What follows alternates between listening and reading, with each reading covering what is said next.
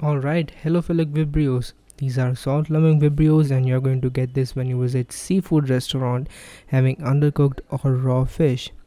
Generally, these cause non-complicated gastroenteritis and apart from one special thing which Vulnificus cause is cellulitis. Fishermen are at more risk during the processing of fish. Let's say if water happens to contain Vulnificus, a fisherman is going to get rapidly spreading cellulitis and sometimes this needs amputation. These are the three species of halophilic vibrios, Parahemolyticus, Alginolyticus and Vulnificus. And trust me, at the end of this video, you are going to remember all the characteristics which I have listed. So here's the thing. Alginolyticus, remember Almighty, right? And Vulnificus, you're going to remember something which is not vulgar these are the babies right? So let's start. Oxidase and indole. Look these are the characteristics of vibrio species be it vibrio cholerae or halophilic vibrios. These are positive for all. Oxidase and indole. Voges-Proskauer who is vip out of these three? Of course god right Voges-Proskauer for all alginolyticus almighty Next is lactose fermentation. Who loves milk?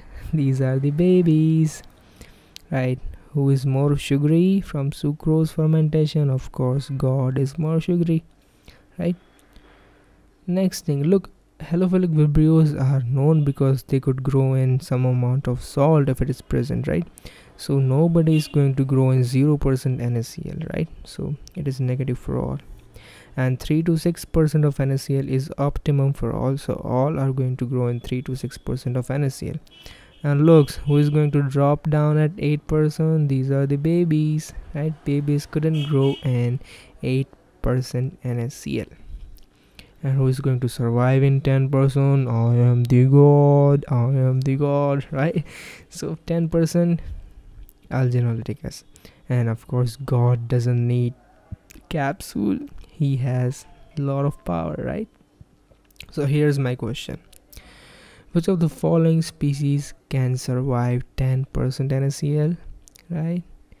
Of course god alginolyticus which of the following species does not grow in 8% NaCl right these are the Vulnificus which of the following is lactose fermenting babies? Vulnificus sucrose fermenting god. Alginolyticus.